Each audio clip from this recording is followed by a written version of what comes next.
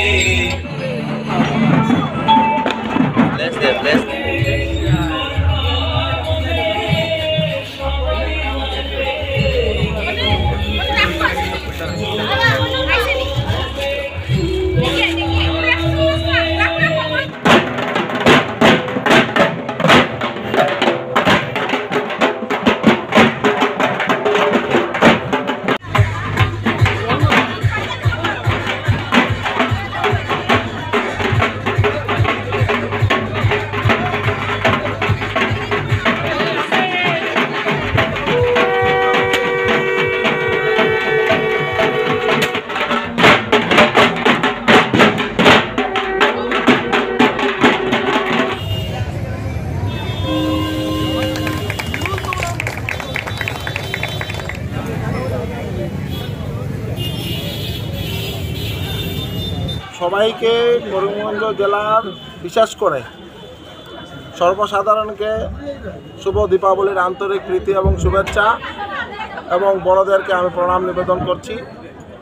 আর এইবার ক্লাব সপ্তর্ষির সবাই আমার ছোটো ভাই, বড় ভাই যারাই আছেন, সবাই মিলে এবার চিন্তাধারা করলেন যে মায়াপুরের ইস্কন মন্দিরের একটা প্রতিচ্ছবি যাতে এখানে তুলে ধরা হয়। এবং বিশেষ করে যিনি এই কাজ করেছেন, ওনাকে আমরা ক্লাবের তরফ থেকে ধন্যবাদ জানাই। মোটামুটি অল্প দিনের মধ্যে উনি যেভাবেই কাজ করেছেন, বা মায়াপুরের ইস্কন মন্দিরের যে ছবি তুলে ধরার চেষ্টা করেছেন, তাই ওনাকে আমরা ধন্যবাদ দিই